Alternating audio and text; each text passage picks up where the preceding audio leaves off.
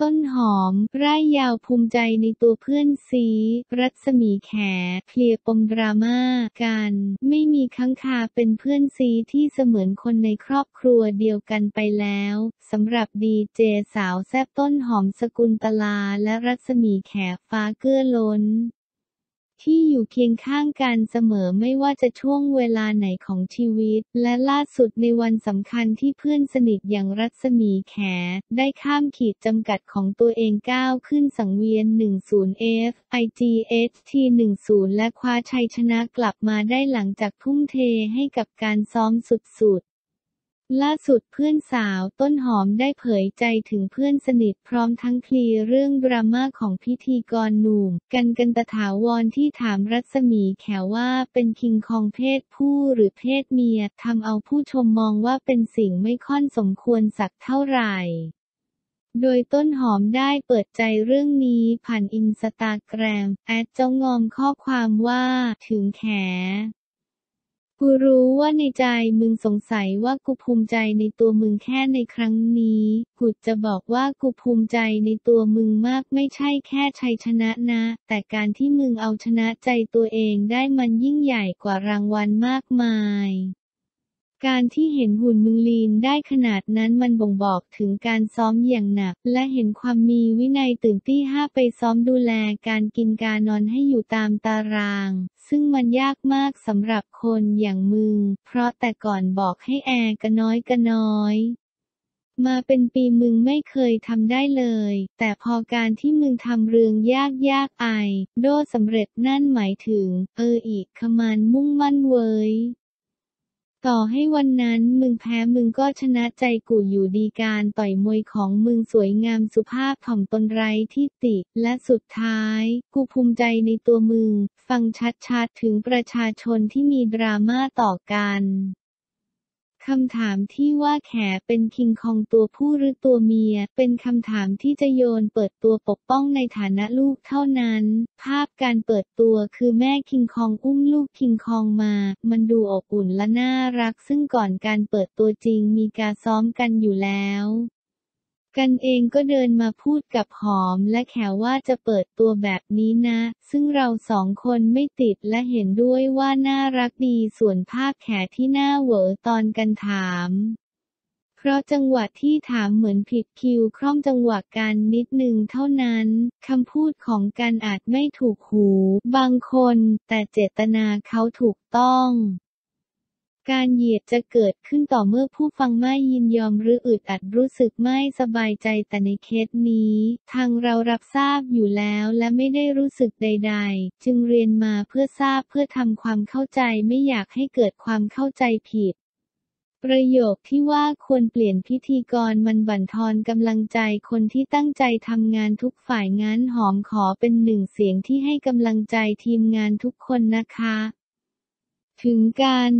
พี่เห็นกันตั้งแต่จัดวิทยุมึงพูดวกไปวนมากูยังนึกในใจเสียดายหน้าหล่อหล่อของมึงจังดีเจไม่เหมาะณตอนนั้นนะ จนวันที่มาดูการซ้อมของ 10F 10กูเห็นมึงบนเวทีและกูภูมิใจแทนมึงเลยมึงมาไกลมากมึงเก่งมาก กูนั่งมองสลับว่าถ้าเป็นกูกูเอาอยู่ไหม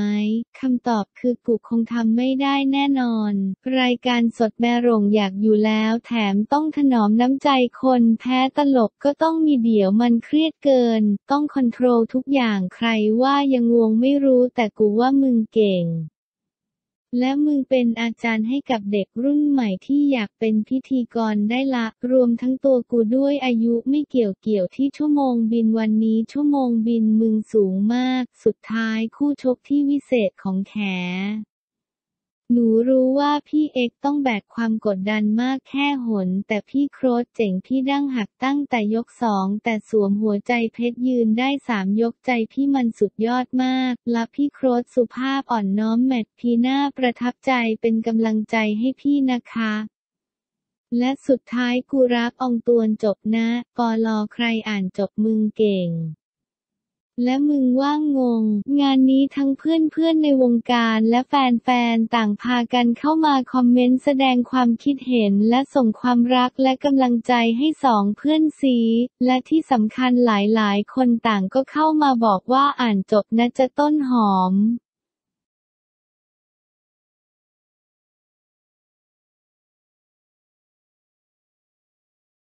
สิ้นสุดการรอคอย โต เซอร์ไพรส์คุกเข่าขอไบรท์แต่งงานกลางรายการเซอร์ไพรส์ใหญ่ โตศักดิ์สิทธิ์บุกรายการเรื่องเล่าเช้านี้ขอแฟนสาวไบรท์พิชญทัฬห์แต่งงานหลังงงคบหากันนาน 9 ปี เรียกว่าเซอร์ไพรส์หนักมากสำหรับแฟนข่าวและแฟนๆ ของคู่รักสุดหวานโตศักดิ์สิทธิ์และไบรท์พิชญทัฬห์ที่ตอนนี้สิ้นสุดการรอคอยเพราะฝ่ายชายจัดเซอร์ไพรส์แบบคาดไม่ถึง เดินทางไปที่สตูดิโอ เรื่องเล่าเช้านี้ และขอแฟนสาวแต่งงานโดยโตได้เอ่ยขอไบรท์แต่งงานกลางรายการว่าตนได้ขออนุญาตคุณแม่ของไบรท์ที่นอนรักษาตัวอยู่ที่โรงพยาบาลแล้ว และตอนนี้คุณพ่อก็กำลังเปิดทีวีให้คุณแม่ดูอยู่ที่โรงพยาบาล 9 ปีที่ผ่านมาขอบคุณสำหรับทุกอย่าง ขอบคุณที่ทำให้เป็นคนที่ดีขึ้นในทุกวัน เราผ่านอะไรด้วยกันมาเยอะอยากให้มั่นใจได้เลยจากวันนี้ไปไม่ว่าจะเจอเรื่องใดก็ตามจะมีเราอยู่ข้างๆเสมอ จะมีเราสองคนอยู่คู่กันตลอดไปรู้ใช่ไหมว่ารักมากแค่ไหนหลังจากนั้นสาวไบรท์ก็ร้องไห้ออกมาด้วยความซึ้งใจพร้อมกับกล่าวขอบคุณและกอดฝ่ายชายด้วยความรักต่อจากนั้นโตได้คุกเข่าพร้อมกับคำว่า แต่งงานกันนะคะ ซึ่งฝ่ายหญิงก็ไม่รีรอที่จะตอบว่า ค่ะ โกจึงสวมแหวนที่นิ้วนางข้างซ้ายให้ไบรท์ท่ามกลางบรรยากาศแห่งความยินดี โดยไบรท์เองได้กล่าวขอบคุณทุกๆ คนรวมทั้งคุณผู้ชมที่ร่วมยินดีกับทั้งคู่ในวันนี้ด้วยน้ำตาแห่งความตื้นตัน นับเป็นบรรยากาศที่อบอุ่นเป็นที่สุดขอแสดงความยินดีกับทั้งคู่มาณที่นี้ย้อนความน่ารักไบร์พิชยทันว่าที่เจ้าสาวของโตศักดิ์สิทธิ์วิดบ้านแตก โต ส่งหวัดดีเบล ไปให้ไบรท์แต่คำตอบที่ได้ทำเอาอธิบายแทบไม่ทัน โตศักดิ์สิทธิ์โพสคลิปแกล้งไบรท์ท้ายคลิปพีคมากมีโกรธแน่ๆ น้องไบรท์อวยพรวันเกิดโตกับภาพวันแรกที่เจอกัน ถึงตอนนี้ 15 ปีแล้ว